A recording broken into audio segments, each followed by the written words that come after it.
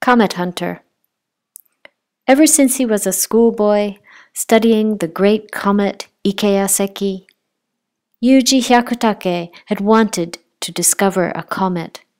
So he moved to Kagoshima with clear mountain air, and night after night, while his wife and son slept, he aimed his huge binoculars at one patch of eastern sky memorizing the stars, their exact locations, sketching positions of constellations, hoping for a rare blaze of ice and dust.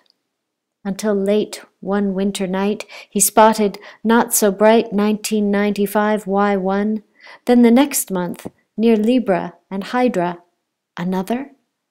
I must be dreaming, he thought, as he sketched and photographed, measured and documented, till day dawned on the mountain. Possible comet, he reported, then waited as top astronomers at the National Observatory in Tokyo checked and finally confirmed he was the first to discover 1996 B2.